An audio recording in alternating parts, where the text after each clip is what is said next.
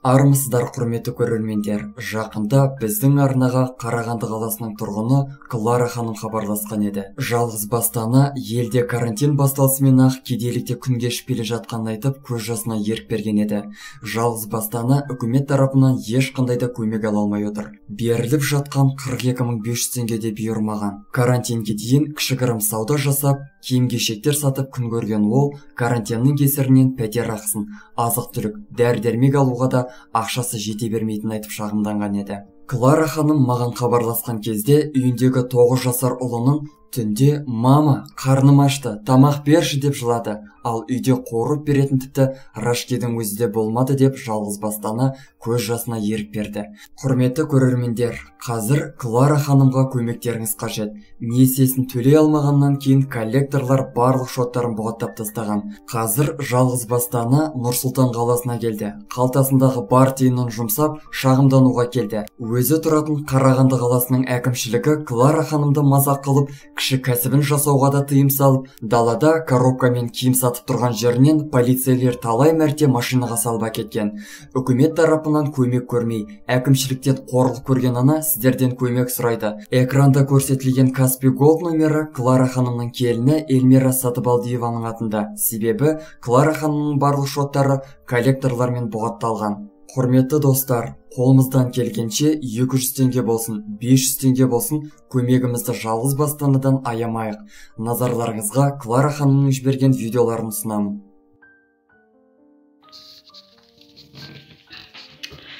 Кеш жарық. Мен мына үкімет пен тоқаев мырзаға айтатыным бар. қырық екі мың жайында айтайын дегенмін. Неге мына қырық екі мың бес жүз теңге біздерге берілмей жатыр?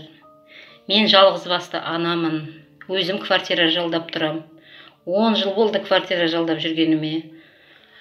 Жеті жыл болды квартирада жалғыз басты ана деп очередьте тұрғаныма. Осы уақытқа дейін жалғыз басты ана деп бір пособие алып көрмегенмін. Мен өзімнің күнімді өзім көріп келгенмін осы уақытқа дейін. Әбден жағдайымыз жақсы болды. Карантин келді да міне я ақша жоқ я басқа жоқ. Міне квартирамның да ақшасын төлей алмай жатырмын. Мінекей жалдап отқан квартирам даже холодильнигім жоқ. Мінекей телевизорым жоқ. Мен жағдайым болса былай қылып отырмаймын ғой. Күнімізді зорға көріп жүрген халықпыз ғой біз. Неге біздің қырық екі мың бес жүзімізді шығармай қойдыңыздар? Кеше мен тікелей эфирде акиматпен сөйлестім. Мен қырық екі мың бес жүзіңізді түсіріп беріңіздер деп хабарласпайды. Қайтадан сообщение жазып жібердім. Маған неге жауап бермей жатырсыздар деп. Біраздан кейін бір жігіт звондайды. қырық екі мың бес жүз сіздерге түспейді не положено дейді. Мен жалғыз басты анамын. Мен негізі жұмыс істегенмін. Мен ипім болған. Мен ип ашқанмын жұмыс істегенмін. Доходым кіріп тұрған елу мың теңге. Маған жалғыз басты ана деп балама пособие да бермей қойды мен тоғыз жаста әлі балам кішкентай. Пособие да бермей қойды елу мың доходыңыз бар дейді. Ол елу мың доход болып санала ма? Ол менің елу мыңымның он мың он екі мыңы налогқа қайтып түседі. Налогқа төлеймін. Төрт мың пенсионныйым бар тағы басқалары бар. Одан қалған мен квартирама беремін. Не ішіп не жейді демейсіздер. Адамды ойламайсыздар. Мен бір бұрышта зат сатамын ол жерде қазір сауда болмайды. Мен талай көшенің бойына әкімнің алдына барғам мен қайда сауда болса мені сонда қойыңыздар деп қаншама бардым әкімнің алдына. Күніңді олай қалай көрсең олай көр деп тыңдамайды да біздерді. Қайтарып жіберді талай. Бәрі біледі мені. Весь абай таниды әкім да таниды. Заместитель әкімдердің өзі біледі. Талай нұр отанға да барғанмын. Талай тоғыз рет он рет полициялар мені сүйреп тұрып коробкамен сүйреп тұрып машинасын салып алып кеткен көшеге зат сатуға болмайды деп. Мен көшеге зат сатпасам менің бұрышта тұрған жерде саудам болмайды. Менікі бар болған бір коробка товар ол коробкамен мен маған базарға бар дейді. Базарда бір коробкамен мен не істеймін? Ол жердің арендасын төлей алмаймын. Мінекей тоқаев мырза. Мінекей карантиннің уақытында қиналып жүрміз дәріге ақша таппай жүрміз. Ұлымның асқазаны ауырып қазір үйде жалғыз өзі приступ беріп жатыр. Ақшаға келіп тұр міне мына жерге әпкеге. Альбина не болды? Маған ақшаны бере берші сосын үйге жүгіріп бара беріңдерші. Үйді құптаған жоқпын. Домофонды алып шықтық па екен кілтін ма өзіңіз бара альбина маған ақша беріп жіберсейші бұл. Аптекаға өзі шығып отырып қой жоқ өзім алып келемін. Өткенде ана асқазан дәрілерін алып келемін.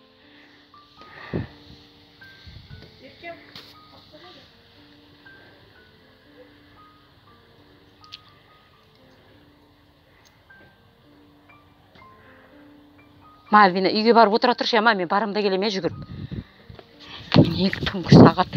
Бір мен енді дәрі іздеп жүгіріп жүрмін.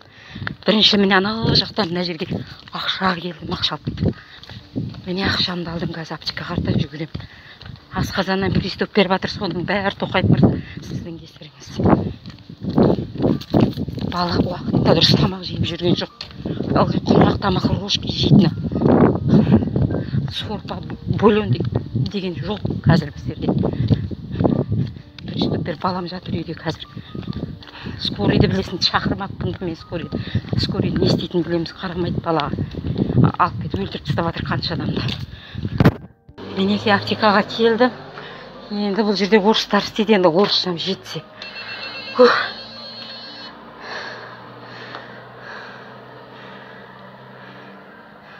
Ночной аптека мынау енді. Никто не отвечает. Ой, пожалуй, Перми, я другой номер. Девочка, добрый вечер, девушка. Э, у ребенка желудок палит. Дайте мне какое-нибудь лекарство, пожалуйста. Всего 9 лет. Желудок? Да. Э, э, нет, не рвота, не тошнит, он жалуется по этим. Ну, ну, желудок-то он показывает э, это. Сейчас я его кормила, не понравился это, когда я кормила ее. Мама говорит, не нравился. Я говорю, нечем кормить, я ее все равно дала этот. Он покушал, вот заболела. Вообще надо было скорую вас потрогали животы. Э, Девушка, э, у нее было такой случай, желудок один раз болел. Я приходила сюда, Наташа мне дала лекарство, порошок какой-то она дала, еще какой-то сироп. дала. Да, да, да, еще какой-то э, это дала, как ее? Э, сироп вместе, маленький. Маленький сироп. Да, смек-то, да, еще. Нет, смекту я вам могу дать, и это... А какой? Сироп можете еще? сироп дала? Ну, я не знаю, А вместе. В, в чем он был? Во флакончике такой? Ну, не в флакончике была, какой-то бумажке вот было там, Нет, жидкое. А, еще жидкое такое. Ну, 9 лет вы сказали? Да, да, да. Сейчас, подождите. Пожалуйста, дайте.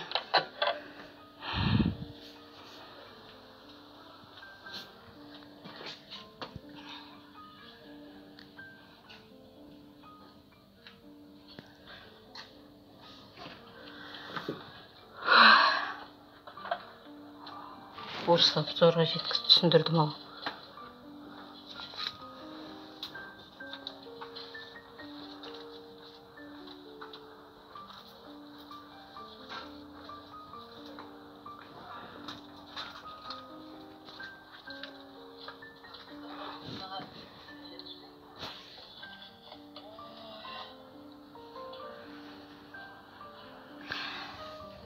мінекей қарағанды облысы абай қаласында тұрамыз. Жалғыз басты анамын. Қаншама мен сообщение жіберіп жатырмын. Қазір тоқаев мырзаға міне балаларымыз қайта қайта ауырып жатыр дәрімізге. Ақша жоқ әркім есігін қағып міне ақша алып келдім. Түнгі сағат бір аптеканың жанында тұрмын.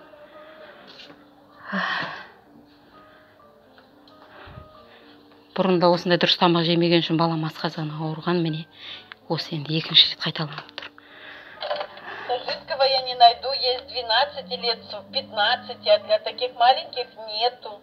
девушка может заметили что нибудь есть наверное у вас там Нет, я вот могу смекту вам дать. давайте смекту Сколько дать пакетиков? А, мне две штук хватит Два пакетика. да два, два. 234. А, да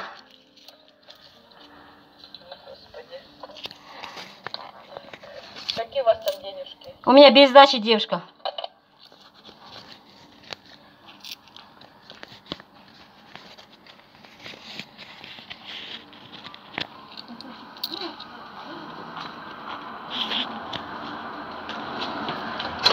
Девушка, может на 12 летке даете, я там чуть-чуть дам. Можно, да? Ну, ну как оно будет только как обволакивающее, оно не будет. Я сейчас покажу, она такой вам даст. Это Наташа тогда работала у вас. У меня ребенок постоянно болит, она постоянно советует мне, что надо. Всегда помогала.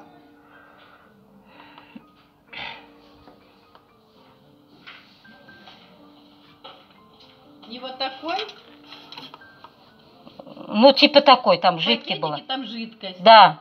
Ну да. Это вместе с, э, с мектой, да, сдают? Вы разведете, да, дадите, а это просто, ну, не полный, половинку, а потом еще можете половинку. Все, спасибо большое вам. Я сколько должна? 234, это 100 тенге будет пакетик. Вот, давайте. 334. Вот девушка мне. Вот 500 тенге. Если без сдачи... Смотрите, здесь есть 300 чем-то. Там это, как без сдачи.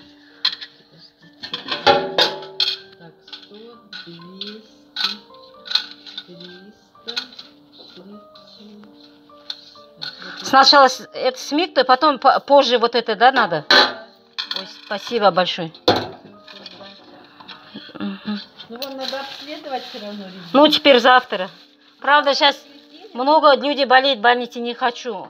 У меня у ребенка бронха, сразу заразится он там. Нет, ну вы хоть бы домой доктора скорую вызвали, чтобы пощупали животиком. Ну да, сейчас посмотрим. Қайырлы таң мінекей карантиндегі тағы бір күніміз өтті мынандай қорлықпен төмен дәрі іздеп баламды аптекаға жүгіріп дәрі әкеліп баламды емдеп алдым аллаға шүкір қазір балам жақсы болды макс қалай ішің жақсы болды ма балам не жаным сол кішкене бір ұйықтап міне таң атты түнімен ұйықтаған жоқпыз а, таң да атты түнімен ұйықтаған жоқпыз баламыз екеуміз. Макс давай кішкене ұйықтап алайық балам мен шаршадым шүкір.